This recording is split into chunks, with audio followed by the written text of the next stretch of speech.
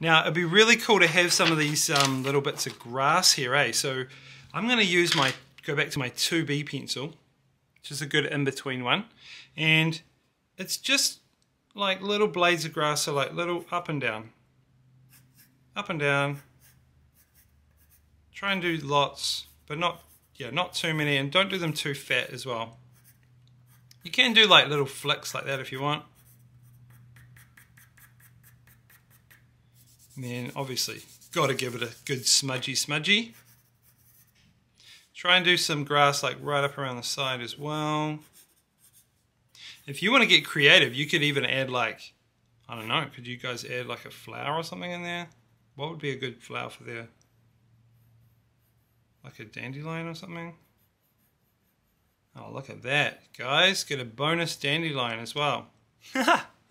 cool. Um, Add some of your favorite flowers in there. And some more grasses. Just make it a little bit darker. So I'm going to go back to my 6B. And there'll be a little shadow kind of underneath where the cat is sitting. Just like that.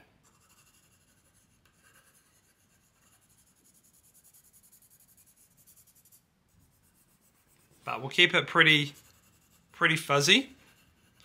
Um, now, if you want to get fancy, if you're feeling like you're really totally on top of this and you, you want to get a little bit fancier, then you can use your rubber to actually draw some bits of grass. And I'll show you how to do that. Okay, use the sharp corner. If you've got a sharp corner on your rubber, just go like this. See that? And you like flick some bits of grass going up like that.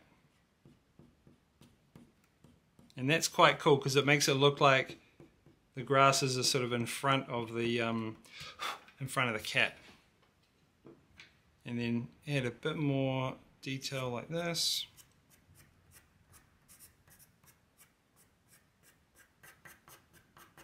There we go.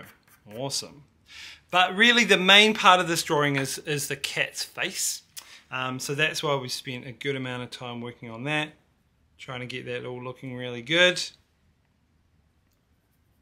I'm just going to go in and just add a little bit more detail to the eye. Maybe a bit darker around the eye as well.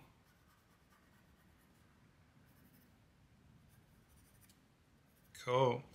Alrighty guys, so just a recap of some of those things that we did, we learnt about. Um, so we've got, remember we started off with the basic shapes to draw the cat. Then we sketched it in, so we used that line and we sketched in the position of the different features. And then we did some shading with our 6B pencil to get some of the darkest, the dark tones and the light tones. All right, which I think really made it look cool. And then the last, well not the last thing, but we added with our sharp HB pencil, we added some little, um, little fur texture yeah. Cool. And um, once we did that, we just did the little details in the eye, and then pretty much that's us.